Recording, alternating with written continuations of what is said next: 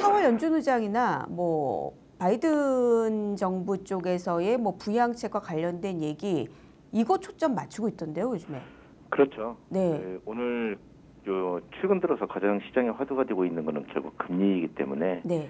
오늘 미국 시, 현지 시각으로 12시 30분 네 이제 파월 연준 의장의 연설에 다들 이제 주목을 하고 있어요. 음, 어 최근 연준 위원 일부 연준 위원들이 뭐 채권 매입을 매입 규모에 대해서 뭐 재조정을 언급을 했었고 그것 때문에 금리의 변화가 좀 컸었지 않습니까? 네.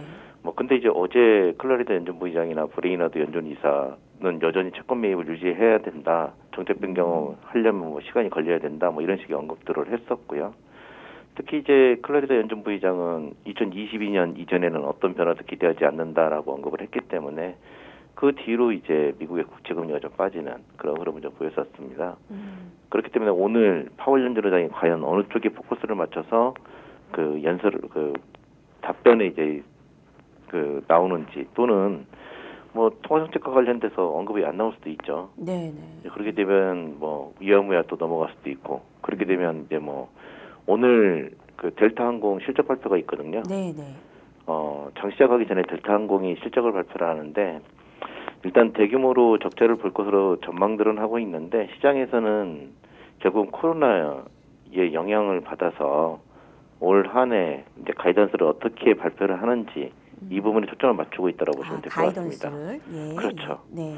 어차피 4분기 실적들이 우리나라도 마찬가지지만 미국도 그렇고 4분기 실적들이 그렇게 좋은 모습은 아니거든요. 네. 그렇기 때문에 그 실적 결과보다는 가이던스에 더 집중을 하고 있는 상황이라고 보시면 될 것 같습니다. 음, 뭐 그래서 그 결과가 뭐 가이던스가 예상보다도 뭐 괜찮게 나오고 그러면 경기 회복에 대해서 긍정적으로 받아들일 수가 있는 거고요. 네. 코로나 이슈가 어느 정도 완화시킬 수도 있다는 점도 생각을 해봐야 될 것 같습니다. 네. 그다음에 이제 다음 주죠. 1월 20일 날 바이든 그 대통령 당선자의 취임식이 있는데 보통 한 일주일 남겨놓고 어, 최근 나오는 내용은 오늘 정도로 해서 추가적인 이제 경기 부양책과 관련된 가이던스를 발표할 것이라고 나오고 있고 어, 어제 미국장 끝나고 나서 이제 척 슈머 공화당 상원 원내대표 같은 경우도 아니 민주당 상원 원내대표 같은 경우도 1.3조 달러 정도의 부양책을 또 추가적으로 요구를 했거든요. 음, 근데 이제 문제는 어 1월 20일 날 취임을 하잖아요. 네, 네. 그리고 이제 상원에서도 이걸 통과시켜야 되는데 상원 이번에 조지아주 상원 당선자들 같은 경우는 1월 22일 날 의회에 들어가거든요. 그렇기 음. 때문에 어 부양책 실질적으로 지급할 수 있는 시기는 2월 달이나 돼야 되기 때문에 거기에 대한 우려들도 좀 있고 관련된 내용들도 이미 어느 정도 다 알려져 있던 내용들이기 때문에 영향력 크지 않을 수도 있습니다. 그렇기 음. 때문에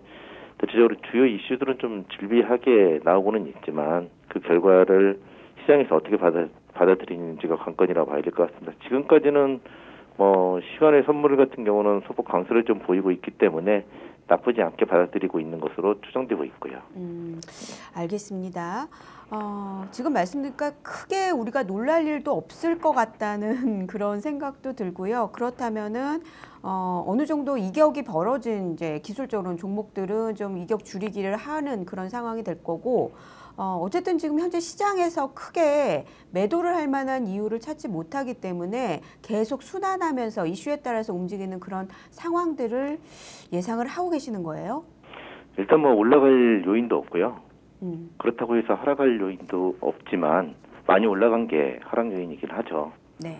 네, 그래서 이제 그 부분을 이제 매물 소화 과정을 어떻게 전개하냐 이게 지금 시장의 가장 큰 화두라고 봐야 될 것 같습니다. 그게 기간 급- 조정이냐 가격 조정이냐는 어, 말씀이시죠? 그렇죠. 예. 급격하게 매물이 쏟아지면서 뭐 전체적으로 시장 자체에 큰 조정이 올 것이냐 아니면 어이 풍부한 유동성을 토대로 해서 매물 소화를 좀 하면서 기간을 기간 조정이 좀 이어질 것이냐 이게 이제 시장의 요즘의 화두라고 보시면 될 것 같습니다. 음, 알겠습니다. 키움증권으로 해외 주식 옮기고 거래하면 최대 30만 원 드려요. 투자 시 원금 손실에 유의하세요.